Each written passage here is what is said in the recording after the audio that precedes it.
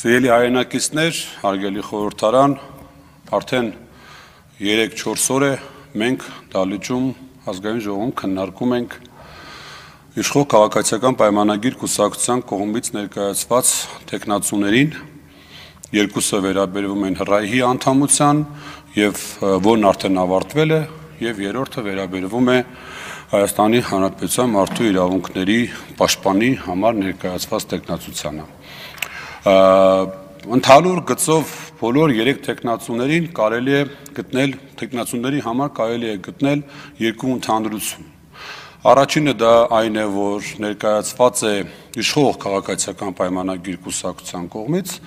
եւ երկրորդը դա բոլոր երեքն էլ տարապում են նույն հիվանդությամբ, որը ես կորակեի խոսքահոսություն։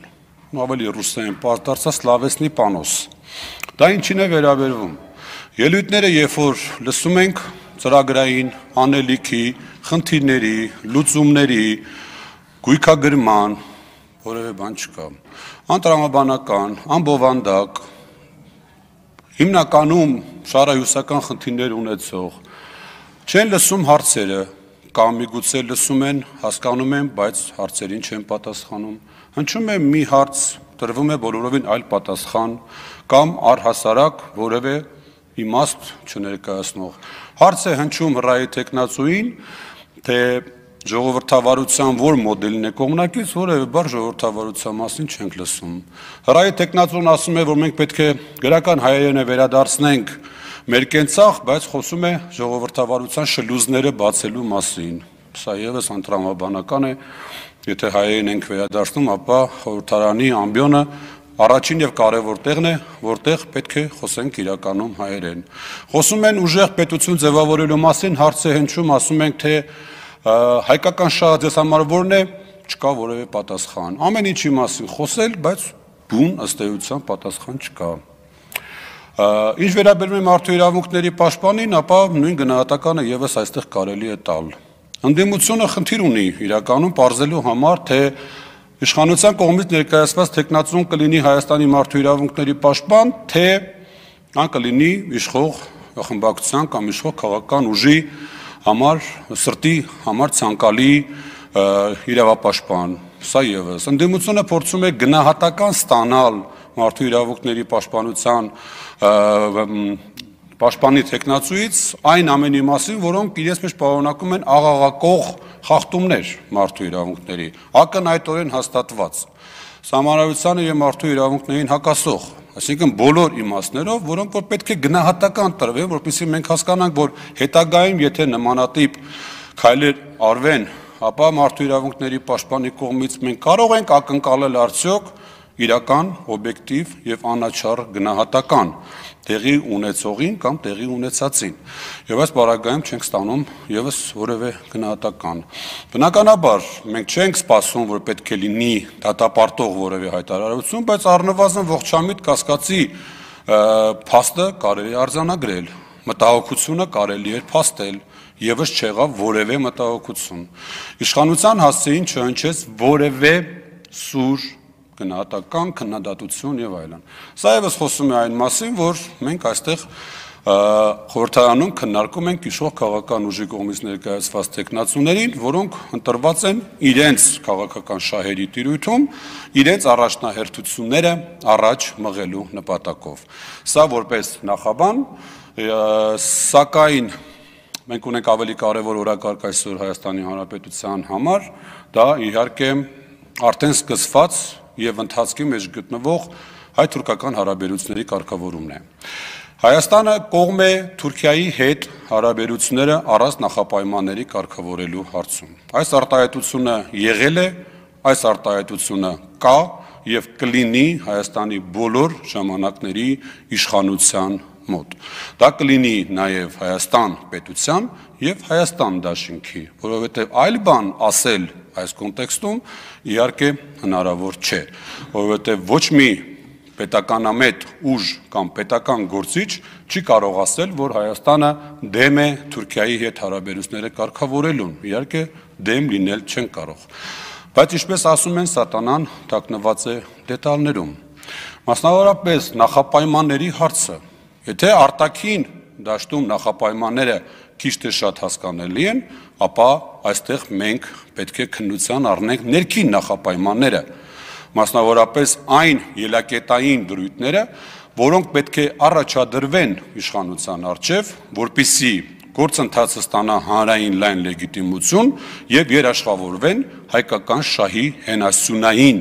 կետերի պահպանումը այս ամբողջ գործընթացում։ Ես որպես հայ մարդ եւ համառությամբ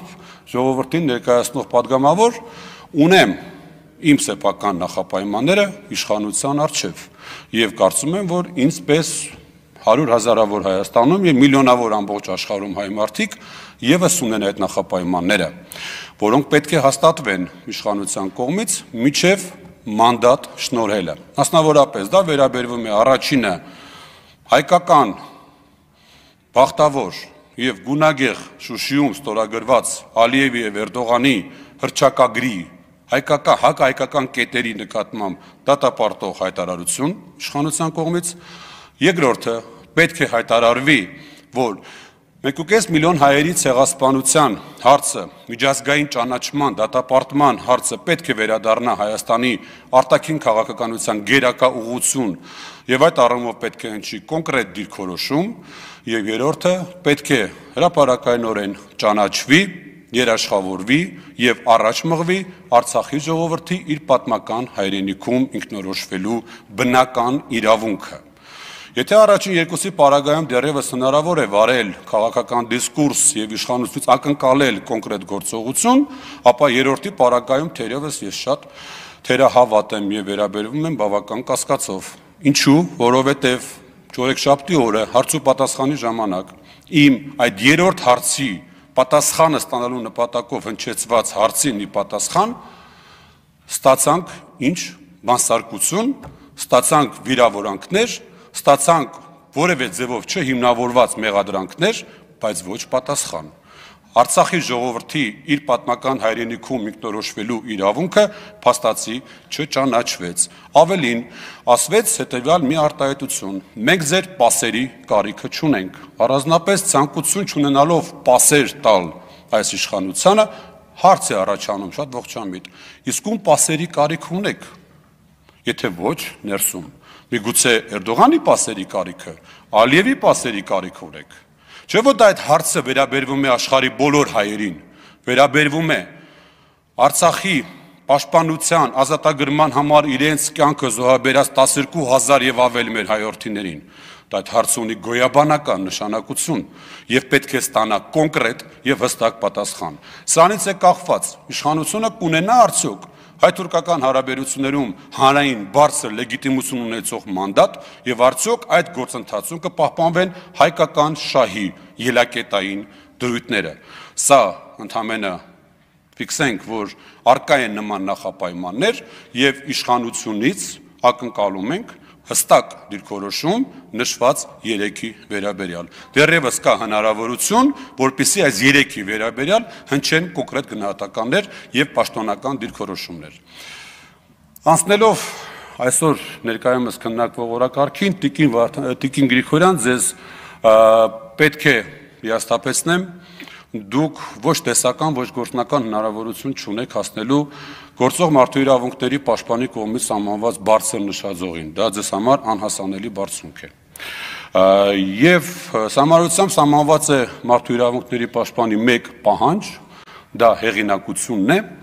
Ձեզ պետք է ասեմ, որ առնվազն մասնագիտական հարույթը ձեզ չի ճանաչում, դուք չեք վայելում հարգանք մասնագիտական հարույթի մոտ եւ ասեմ ավելին, ճունեք նաեւ հեղինակություն։ Հետևաբար ձեր ընտրության պարագայում Հայաստանի Հանրապետությունը ոչ միայն չի ունենա իրական մարդու իրավունքների պաշտպան, ոչ միայն չի ապահովի հաջորդականությունը, այլ նաև լուրջ ռիսկ կառաջանա հաստատված բարձր նշաձողի անկման համար։ Հետևաբար կարող ենք եզրակացնել, որ ձեր ընտրվելու պարագայում իշխանությունը կստանա անձնական օգտագործման իրավապաշտպան այլ ոչ թե մարդու իրավունքների պաշտպան։ Սա քաղաքական գնահատական է, սա բխել է ձեր կողմից տրված մեր հարցերին տրված պատասխաններից, որտեղ դուք հետևողականորեն խուսափեցիք իշխանության հասցեին հնչեցնել որևէ քննադատություն։ Շնորհակալություն։ Բաբկեն Թունյան համեցեք։